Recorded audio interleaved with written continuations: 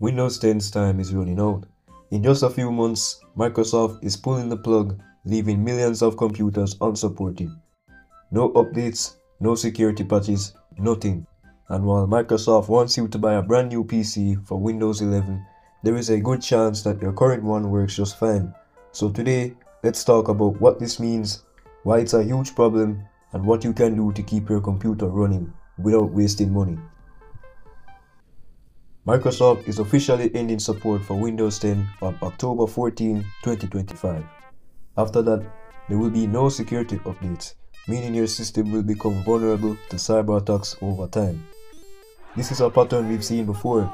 Windows 7 gone in 2020, Windows XP ditched in 2014, and now it's Windows 10's turn.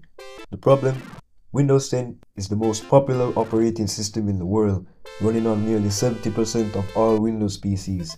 That's hundreds of millions of devices suddenly losing support overnight. Now, Microsoft's official response is simple. Just upgrade to Windows 11, but there's a catch. A lot of computers that run Windows 10 can't upgrade to Windows 11 because of strict hardware requirements, such as TPM 2.0 and Secure Boot. This means millions of perfectly working computers will either get thrown away or left behind, creating tons of e-waste, all because Microsoft decided to cut off support. And let's be real, most of these PCs are still fast enough for everyday tasks such as browsing, streaming, and even gaming.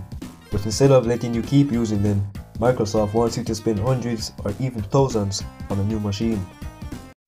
If your PC is blocked from upgrading to Windows 11, don't worry, there's a way around it. One method is using a modified Windows 11 installer that removes the TPM 2.0 and secure boot requirements. Tools like Rufus let you create a bootable USB that bypasses these checks. Now, keep in mind that Microsoft doesn't officially support these methods, so future upgrades could break them, but for now, they work. If you want a free, lightweight, and secure alternative to Windows 10, Linux is a great option. Modern Linux distros are easy to install and come with all the basic apps you need. Web browsers, office programs, media players, you name it. Two of the best beginner-friendly options are Linux Mint and Pop! OS. They look and feel familiar, so switching from Windows is super easy. And yes, you can even game on Linux. Thanks to Proton, thousands of Windows games run just fine, even on older hardware. If you're not ready to upgrade yet, you can still keep using Windows 10 safely for a while. Here's how. Use a good antivirus such as Bitdefender or Malwarebytes. Enable a strong firewall and update all software regularly. Avoid sketchy downloads and stick to trusted sites. So, what's the best option for you?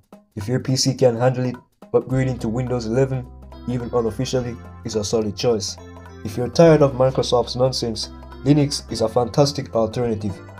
And if you want to hold on to Windows 10 a little longer, just be extra careful.